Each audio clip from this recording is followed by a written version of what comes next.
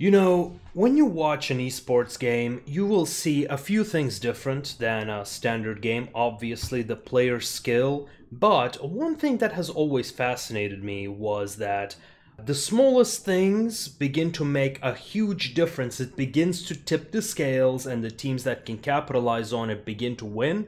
And today, we have something like that. Even though the game is barely out of closed beta, we already have quite a few clans being formed, and today we have something very close to that, and I would like to demonstrate how the smallest thing can make a big difference. So let's begin. Let's first introduce the sides. On the blue side, we have got the Legion 13 team, Sansu Echo, Red Duke, uh, the Dark Dust, and myself, Arklanon as well as quite a few other and a fairly decent uh, decent people. We've got some cavalry, some heavy infantry uh, in the southern, in the middle flank, and in the south towards the city. We have got the spears and the cavalry going in, an interesting choice. And in the red team, we have got javelins and uh, infantry going into the city some uh, light cavalry, very good, and uh, some archers going into the city. They do have one uh, disconnected player, however. In the middle, they've got heavy infantry, uh, some cavalry. It seems like equally matched until you see this. We have got the red team has two artillery, heavily incentivizing them to camp their position and to just uh, shoot until the until the opposing team relents. However, there is one caveat when it comes to artillery. They require vision in order to be able to see where they're shooting, otherwise they're going to be shooting in the blind. So, let's see how that vision begins to take shape. So, Kurgan King uh, is going in. Oh, let me introduce the other team as well. We have got the Sons of Zeus, um, Jackie Fish, uh, another uh, YouTuber, the infamous Pelasgos, of course, Hell Sansu and their uh, latest friend Kurgan King, also a pretty good player as you are about to find out. Uh, and he rushes just like uh, the light cavalry should do, rushes to the tower, giving vision to his team. He gave a brief vision and then scouted the enemy. Right now, they're able to see this whole area.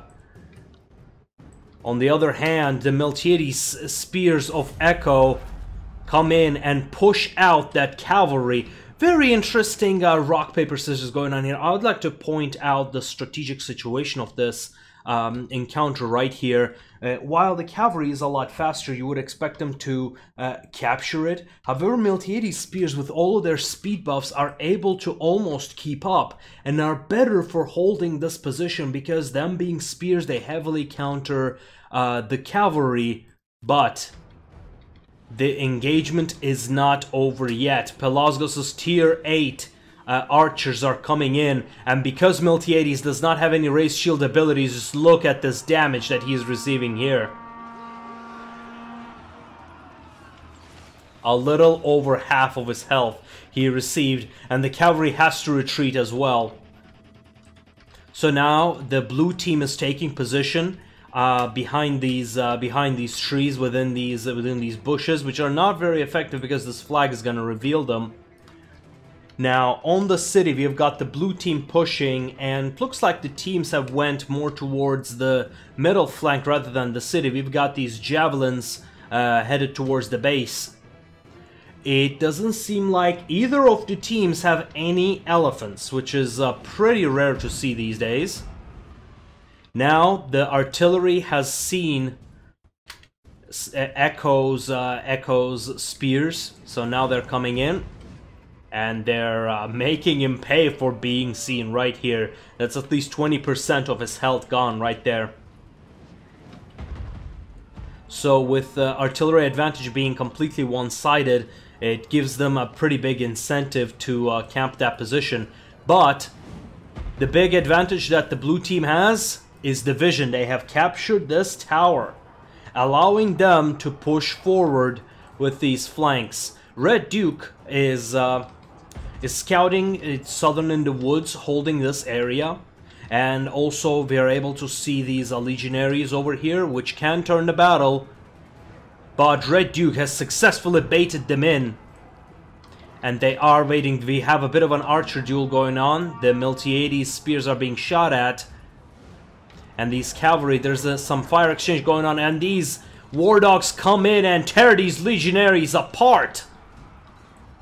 They come in and try to chase these javelin over here. Javelin leave caltrops and keep running away. They are routed, but these uh, but these infant infantry have been slowed down, and because they're in the woods, they're even slower right now. And boom! One artillery shot takes two bars of health, two-fifths of the health of these javelins. Additional shots go in, do minor damage, but with the, all the units in this area gone, they have completely lost vision of this area, uh, leaving the blue team with, uh, with the middle flank. Very intense, but they still have the strategic advantage. They still have the artillery, so they can turn this battle around. Echo is uh, running around trying to find a weakness within their lines with his Miltiades spears. He's just chasing this cavalry. He doesn't give a damn. He has engaged Jackie Fish's Triarii, which are a tier 7 Roman uh, tier 7 Roman spears that are a premium unit. And boom! It looks like Sun Tzu has just hit Dark Dust's um, Dark Dust archers doing considerable damage. However, in the process sacrifices his cavalry, but he has activated his Oath of Perseverance However, there is one caveat here. Under normal circumstances, he would be able to hold here for long. But the effect of these spears, as well as Veni, Veni makes a huge difference. 50% melee attack and 50% melee defense wipes out that cavalry off the battlefield, giving the cavalry advantage to Red Duke. Now he's able to capture the plains. And now the blue team cannot simply cannot afford to lose any time, come close to the critical range, the range where uh, the artillery is not able to shoot. And now they are able to shoot the artillery instead. The artillery piece, however, is blocking the shots, so they're receiving minor damage. Seeing this, Dark Dust, uh, Dark Dust engages with uh, Pelasgos' archers and the Triarii are holding the lines right here. The most experienced lines of the Republican era. But because the dogs can go under phalanx, they still do considerable damage. It looks like the blue team's city forces are managing to cap the base. Forcing them to either abandon this position. Oh, this position I remember well. So we've got these uh, two javelins over here fighting against this one cavalry. In the meanwhile, the artillery keeps shooting their base in order to decap. So now we've got some uh, cavalry on cavalry action going on. Roman cavalry against the barbarian cavalry.